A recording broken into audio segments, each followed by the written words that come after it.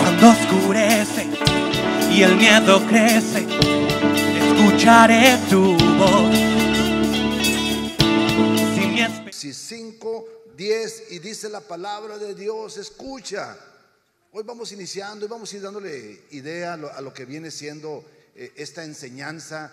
Dios quiere hablar, Dios quiere tocar nuestro corazón y queremos nosotros como instrumentos de Dios, pues así poder edificar la vida de otras personas. ¿Con qué? Con nuestro ejemplo, más que con nuestras palabras. Amén. Y eso es importante, dice la palabra de Dios, que nosotros edificamos el cuerpo de Cristo. Y eso es lo que vamos a estar hablando el día de hoy. Bonita, por favor, Apocalipsis 5, 10. Y dice, porque así dice, está escrito la palabra de Dios. Ahorita lo van a ver, bonita. Y ¿Con qué finalidad? sobre la tierra. Con la finalidad o con el propósito de que gobernemos, de que reinemos. Dice la palabra de Dios que Dios nos constituyó, Dios nos hizo reyes y sacerdotes. Aquí viene el problema. ¿Por qué? Porque muchas veces conceptos erróneos han lastimado a la iglesia.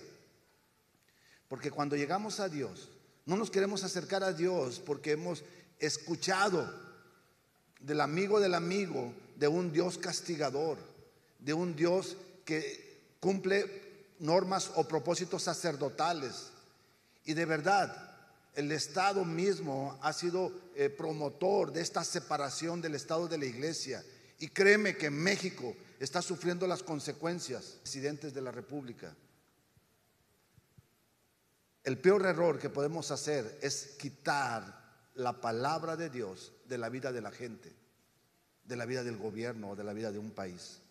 Pues dice la palabra de Dios que Él nos constituyó como reyes y sacerdotes. El problema es que cuando nosotros llegamos a los pies de Cristo y nacemos en el Evangelio, recibimos a Jesús, no me constituyen como rey, me constituyen como sacerdote. Me enseñan toda la reglamentatura o, el reglamento de una congregación, pero no me enseñan a gobernar, no me enseñan a reinar. Y dice la palabra de Dios que el propósito de Dios es que nosotros seamos bonitas reyes y sacerdotes. Hay una oración propiamente en el libro de Mateo 6:6, no vayas para allá bonita, en Mateo 6:6 en adelante, donde le piden que Jesús ore y les enseñe a orar. Y no propiamente era un esqueleto o era una estructura de oración, era el anhelo de Jesús. Y Jesús dice, Padre que estás en los cielos, santificado sea tu nombre. Y sigue diciendo, ¿qué es lo que dice?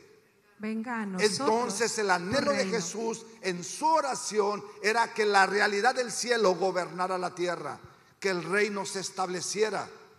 Y Dios estableció su reino para que conforme vayamos avanzando en el tema del día de hoy. Ahora, regresando otra vez al tema, me quería adelantar poquito, pero dice la palabra de de Dios bonita, Apocalipsis 1.6, y dice, porque así dice, está escrito la palabra de Dios. Escucha, Amén. Y nos hizo reyes y sacerdotes para Dios su Padre. A Él sea gloria e imperio por los siglos de Dice los siglos. que nos hizo reyes y sacerdotes para administrar. Ahora bien, el rey gobierna desde un trono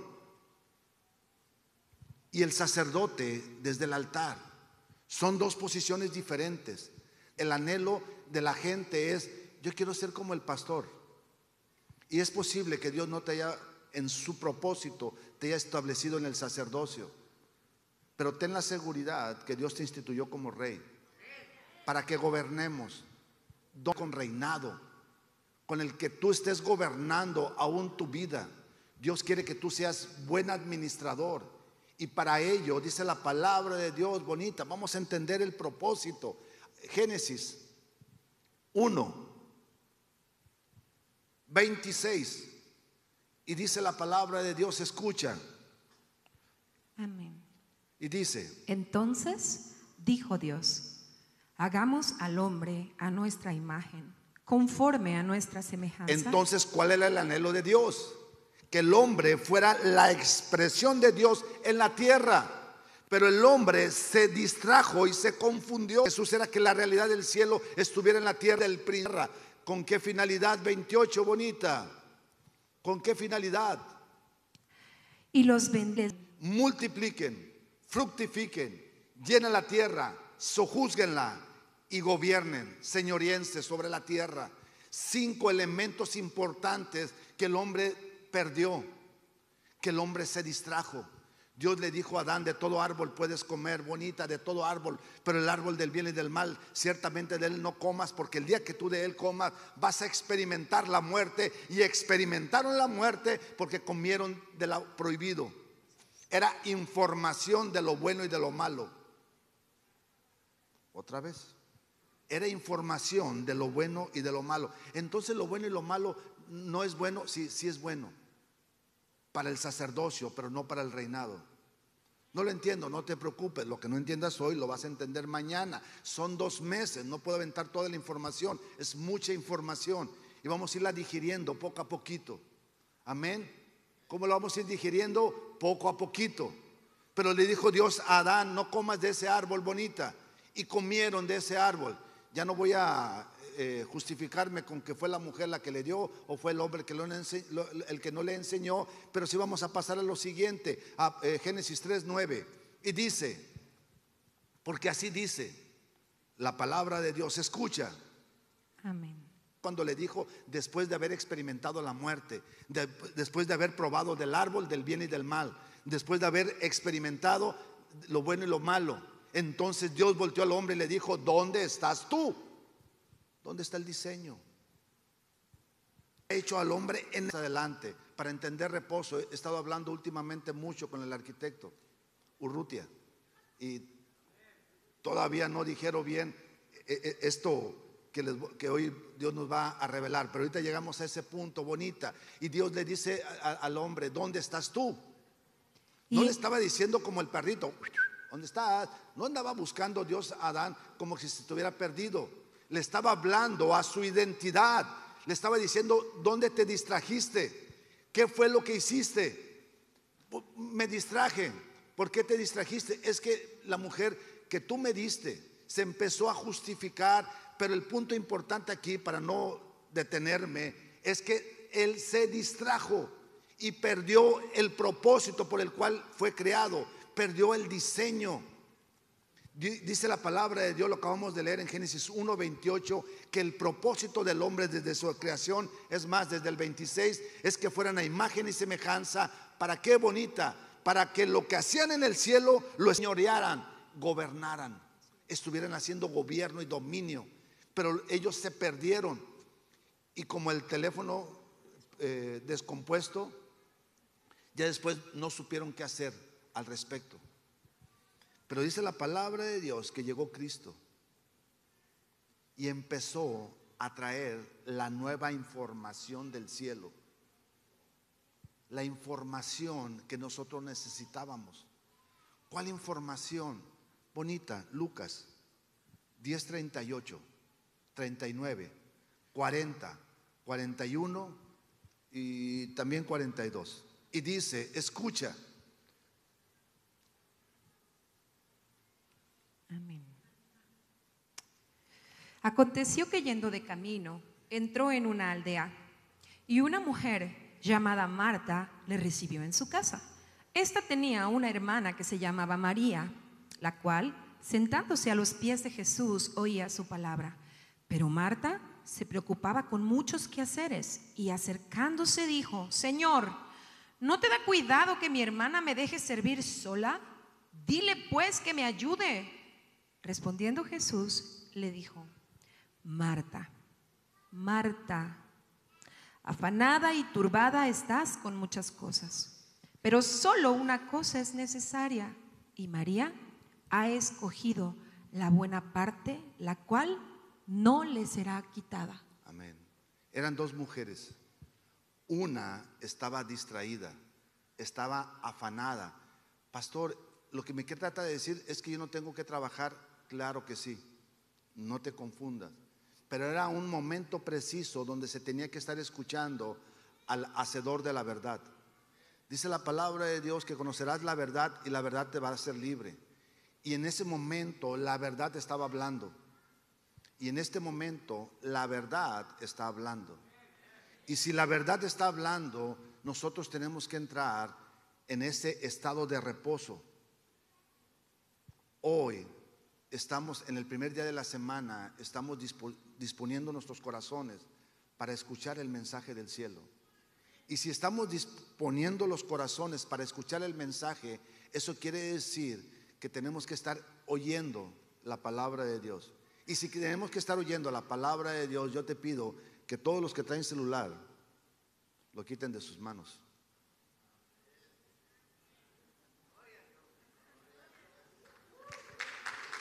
Pero qué bueno que lo guardaste. Escucha, era Marta y María. Marta estaba turbada porque por las situaciones, por todo lo que está pasando, pero había otra mujer que era María. Y María estaba dispo- disponiendo su corazón para escuchar la palabra de Dios. ¿Por qué? Porque estaba escuchando el mensaje que le iba a llenar a su corazón. El mensaje que le iba a dar fortaleza para enfrentar situaciones. Ahora bien, bonita, y esto- eh, aquí es, esto es importante. María, escucha, María estaba llenando su corazón de información. ¿Por qué? Porque cuando Jesús le estaba hablando, propiamente no registraba en su mente letras. Cuando alguien te está hablando, lo que tú registras son imágenes. La nueva información que tiene que llegar a tu vida. Tú podrás decir, no entiendo, no te preocupes, con esto ya iniciamos. Bonita, eh, Colosenses 1, 12 y 13. Y dice la palabra de Dios, escucha.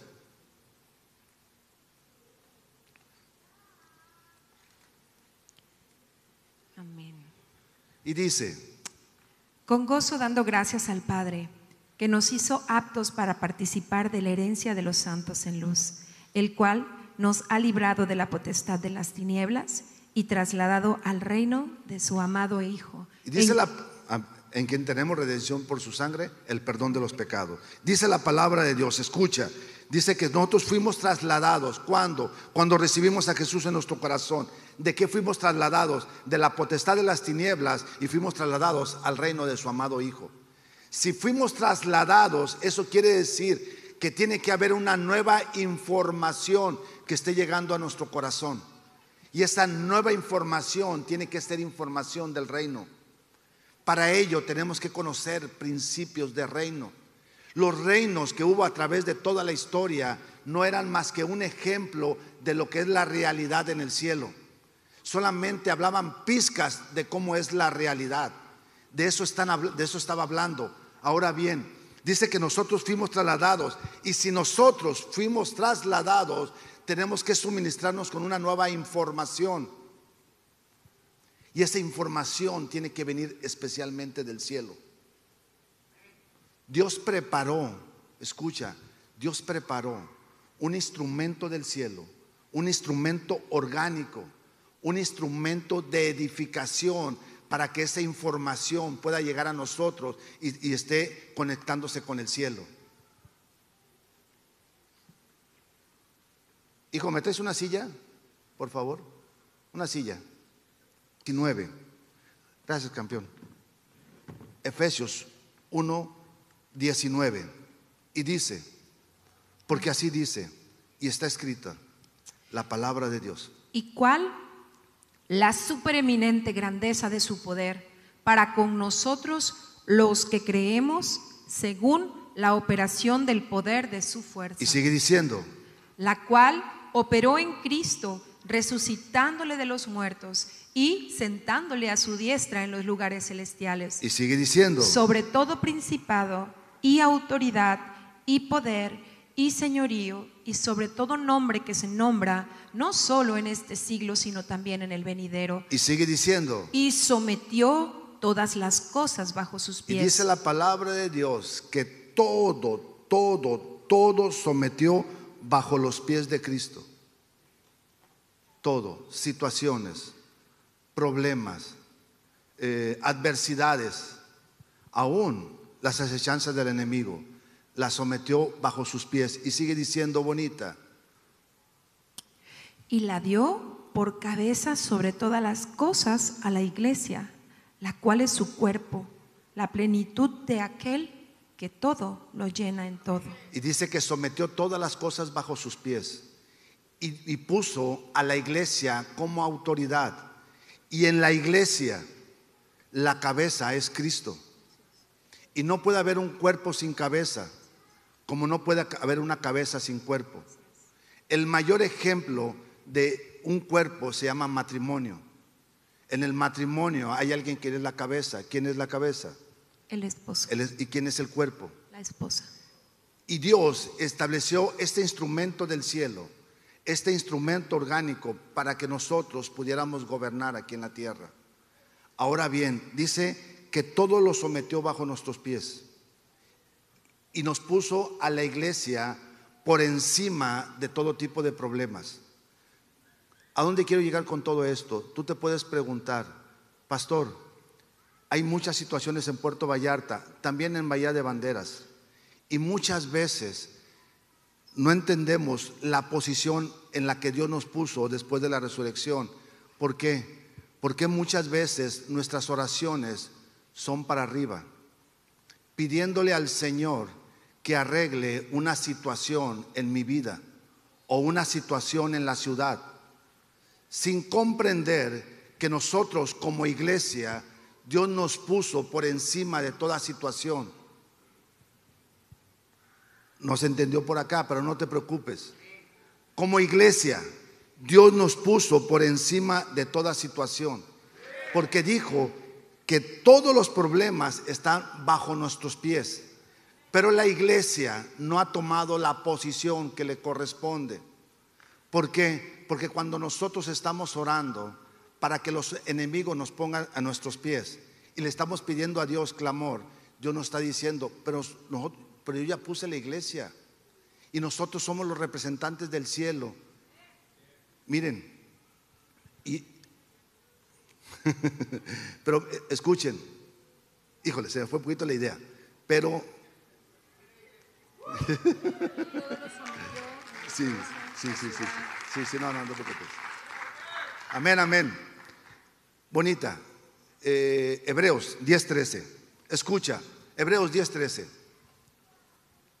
Ahorita aterrizo la idea. Hebreos 10:13. Y dice la palabra de Dios, escucha. Amén. Y de ahí en adelante, esperando hasta que sus enemigos sean puestos por estrado de sus pies. Hebreos 1:3.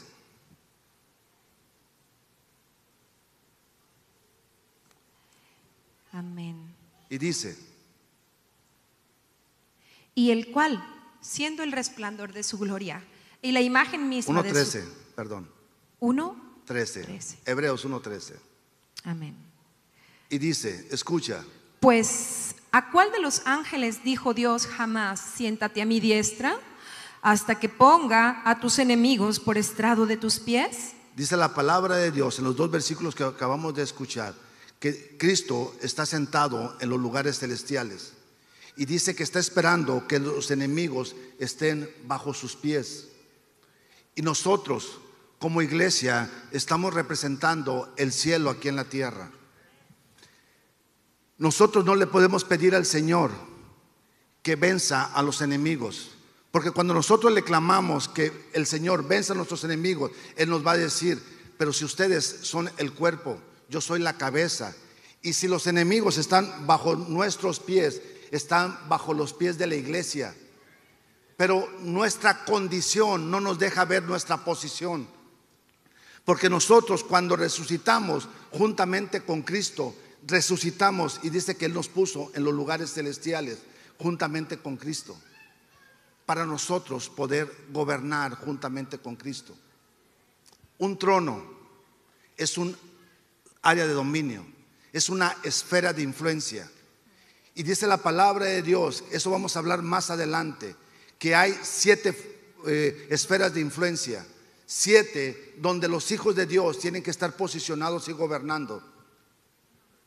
Pero muchas veces la condición o la condición no nos deja ver nuestra posición que, Dios nos ha puesto como iglesia. No lo entiendo, pastor. Mira, vamos a tener dos meses. Hoy solamente son principios básicos de lo que vamos a estar viendo a lo largo de estos dos meses. Pero en estos siete esferas bonitas que viene siendo la familia, que viene siendo el gobierno, que viene siendo la cultura, que viene siendo la educación, que viene siendo los medios los medios de información o la internet, que viene siendo la economía y que viene siendo la religión. Lo dije al principio, la familia. Estas son siete esferas donde los hijos de Dios como iglesia tenemos que estar gobernando. Pero para poder nosotros gobernar tenemos que tener un vocablo aquí que tiene que estar todo el tiempo en nuestra mente y en nuestro corazón, que se llama iglesia. Y la iglesia la constituimos todos. Y esa iglesia está formada por hijos. Otra vez, esa iglesia está formada por hijos. Y tú eres parte orgánica de la iglesia. Ahora, para que la iglesia pueda funcionar como cuerpo, tenemos que trabajar en familia o organizadamente.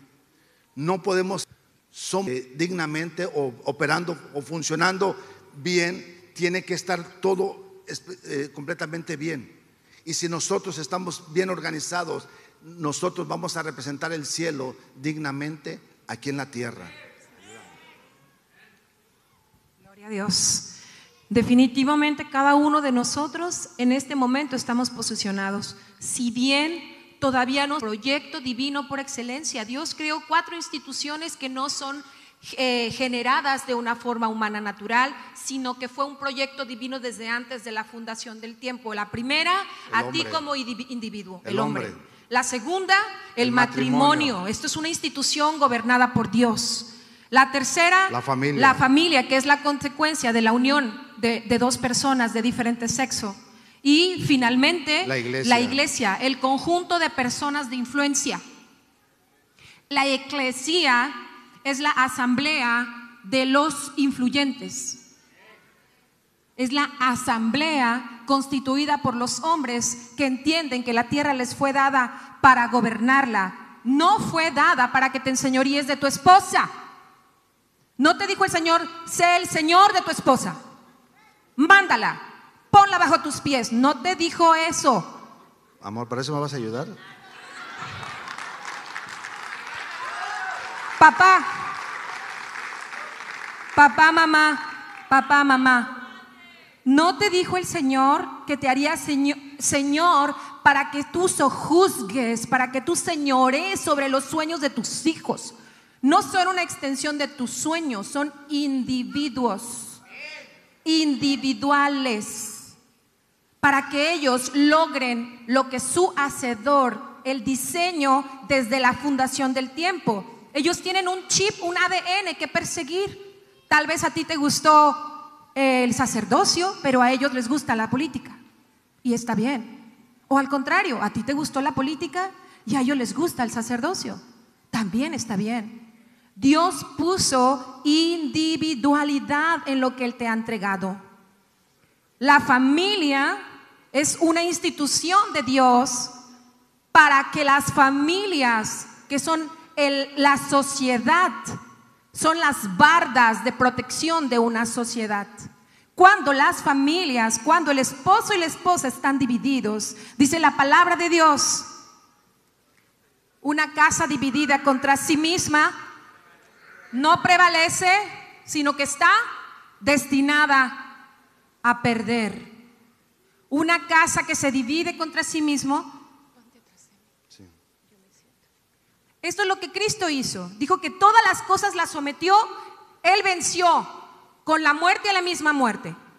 Así dice su palabra. Y que todo, todo lo dio por estrado de tus pies, porque tú eres iglesia. No lo tomes, iglesia no es un término religioso, es un término eh, de gobierno. Eclesía es un término griego y tú eres la iglesia. La cabeza da la orden y el cuerpo ejecuta lo que la cabeza le ordenó. Lo que Dios te esté poniendo, un nombre de nuestro Dios es el Dios de los sueños. Y los sueños que Él depositó en tu corazón no se te ocurrieron a ti. Él dio dones para dirigir lo que Él te ha dado. Dice que hay un don que se llama el don de dirigir o de presidir. Si Dios te ha puesto a la cabeza de algo, te da una instrucción y te dice que lo hagas con diligencia. El que tiene el don de dirigir, que lo haga con diligencia. Sé más sagaces que los hijos de tinieblas. Dice, los hijos de tinieblas son más sagaces que los hijos de luz en el trato con sus semejantes. Pero tú eres luz y tienes que alumbrar a las naciones. Y dice su palabra que Él es la cabeza. Cristo es la cabeza. Y en la tierra nosotros ejecutamos lo que Dios, el que lo nota le toca. Tú notas que hay un faltante en la sociedad. Es porque tu aportación es lo que hará la diferencia en forma unida, en unidad. ¿Por qué tenemos que estar en unidad? Porque la unidad es poder. Cuando un esposo y una esposa se ponen de acuerdo, hay poder. Cuando unos padres se ponen de acuerdo con sus hijos, abraza a tus hijos, hay poder. Una familia unida es una familia poderosa. Un matrimonio unido es un matrimonio de poder. Jesús no mintió diciéndote que tu vida sería miel sobre hojuelas. Dijo que en el mundo hay aflicciones. Allá cuando das un paso fuera de tu casa está lleno de problemas. Pero Él dijo, confía. Yo ya vencí al mundo. Cuando tú entras en guerra, cuando tú entras en guerra, ¿a quién necesitas? Al aliado más poderoso. ¿Y quién es el aliado más poderoso de tu vida? Para la esposa, el esposo es el mejor aliado. Para el esposo, la esposa es la mejor aliada. Para los padres, sus hijos son la alianza más grande que necesitan. Si la familia está bien, saldremos a conquistar. Los padres apoyaremos los sueños de nuestros hijos. No importa que quieran ser lo que quieran ser. Son individuos. Cuando aprendemos a respetar la obra de Dios, individuo, matrimonio, familia, iglesia, podemos ver a Dios a través de los sueños de locos de nuestros hijos también, de las ocurrencias raras. Amén. Si entendiéramos que como iglesia somos los representantes de Dios en la tierra. La iglesia, la iglesia fue instituida en la resurrección. Dios eh, durmió y lo, donde el punto donde queremos llegar, que es lo que vamos a estar hablando a través de todos estos dos meses, es que en estos tronos de influencia, los hijos de Dios tenemos que estar ahí, pero para gobernar, entendiendo los principios del reino. Si ustedes, si contamos, de los siete tronos, solamente un trono se trata de sacerdocio, que es el trono de la religión. Pero hay seis tronos que donde tú tienes que estar gobernando o estás ya gobernando. Y te los vuelvo a, parafrasear. El, el trono de la familia, que es lo que acaba de hablar mi esposa. El trono de la economía. Tenemos que tener economistas. Tenemos que tener hijos de Dios representando. ¿Por qué? Porque mientras no tengamos hijos de Dios en estas esferas de influencia, si no estamos hijos de Dios, entonces van a estar hijos del mundo. Y es por eso que la tierra está como está, con patas para arriba. ¿Por qué? Porque la religión, a muchos no nos tocó, pero en 1960, cuando, o 1950 y tantos, cuando apareció la televisión, el sistema religioso dijo que esa cajita era del diablo y nos alejamos de la televisión, nos alejamos de la música, nos alejamos del cine, los hijos de Dios se alejaron por el sistema religioso y otras gentes tomaron dominio. Tuvieron que pasar muchos años para que los hijos de Dios empezaran a hacer películas cristianas, canciones cristianas. Todavía hay sistemas religiosos que la música del rap cristiano piensan que es del diablo. Sin entender que somos los hijos de Dios los que tenemos que estar creando música. ¿Por qué? Porque si la cabeza es la que pone las ideas, los dones, el cuerpo es el que tiene que llevar a cabo todo lo que la cabeza está soñando y pensando. Familias, gobierno, educación, cultura, eh, deportes, eh, ya lo dije, ciencia, por ahí me, falta uno, y religión, medios de, medios de comunicación. Eso nos da a entender que son seis donde tú tienes que estar gobernando. Cuando entendemos principios de reino, cuando entendemos principios de reino, no sabe, entendemos que no hay magnificencia más grande para un rey que extender su reino. Y si Dios estableció el reino en cada uno de nosotros, el reino es la operatividad del rey. Y si tú eres un rey, tienes una circunferencia de reinado. Y lo más sensato es que tú, tu reino, lo sigas extendiendo en el área que tú te estás desarrollando. Yo no soy empresario, pero eres padre de familia. Eso quiere decir que si estás en un trono de influencia. Yo no soy de padre de familia. Ah, pero estás trabajando en una empresa. Eso quiere decir que si estás en un trono de influencia. si le buscamos, todos representamos o todos somos parte de un trono de influencia. Y Dios quiere que en cada trono de influencia nosotros, válgame la redundancia, seamos de influencia porque nosotros estamos expresando a Cristo. Donde nos paremos, donde nosotros estemos. ¿Por qué? Porque si comprendemos principios de reino, todo, todo, todo, todo, todo, donde la planta de nuestros pies pisaren, es posesión del reino. El sistema religioso dijo, es más, separó al mundo del reino, inventó una palabra que se llama secular, que es una palabra que no, que no es bíblica, y nos separó sin entender que los hijos de Dios están para gobernar y para conquistar. Nosotros no tenemos que alejarnos del mundo, nosotros tenemos que conquistar al mundo. Nosotros tenemos que seguir extendiendo el reino de Dios.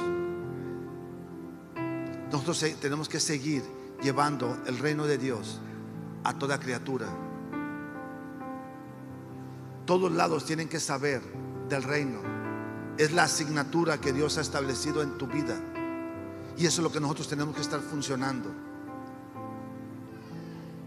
Te comentaba, de siete tronos, solamente un trono es el religioso.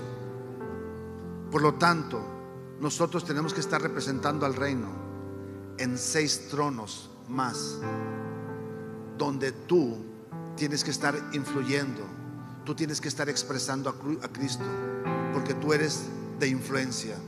Amén. Donde el Espíritu de Dios está, hay libertad y podemos adorar. Es lo que está tocando Dani atrás con el piano. Donde el Espíritu de Dios está, está el ámbito del rey. Y el, deseo del rey es gobernar, defendiendo lo que tiene. Pero eso no lo es todo. Un rey no solamente defiende lo que Dios le dio.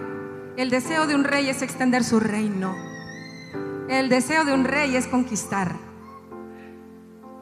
Si el rey se conformara solamente con proteger lo que tiene, solamente con mi familia, Señor, regrésame mi familia, dame mi familia. Eso es una buena petición, pero mejor es, Señor, en tu simiente, Génesis 12, 2, serán benditas todas las familias de la tierra.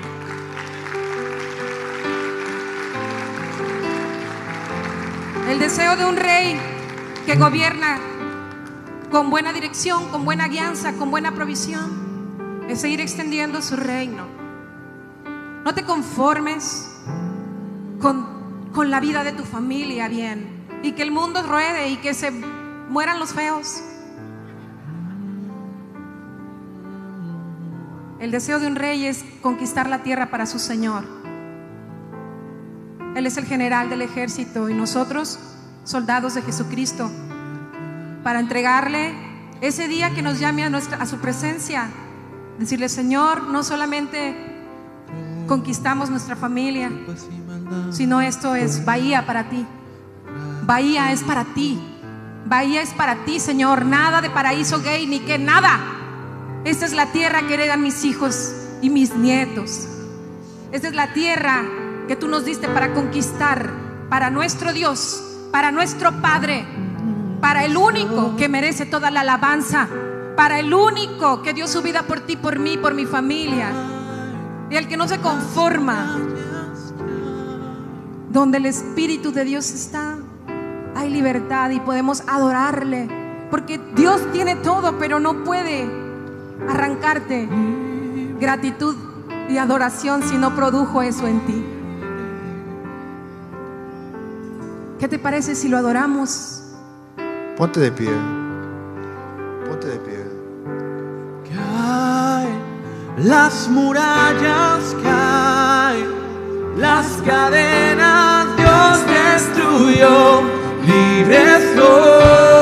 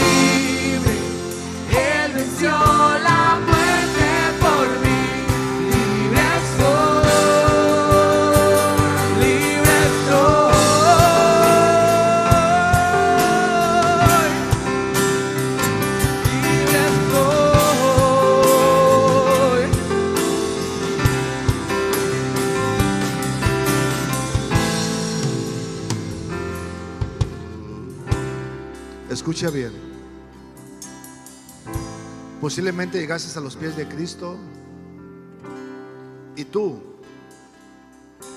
buscas de Dios para una necesidad. Y no es malo. Créemelo que el cielo te va a suministrar esa necesidad.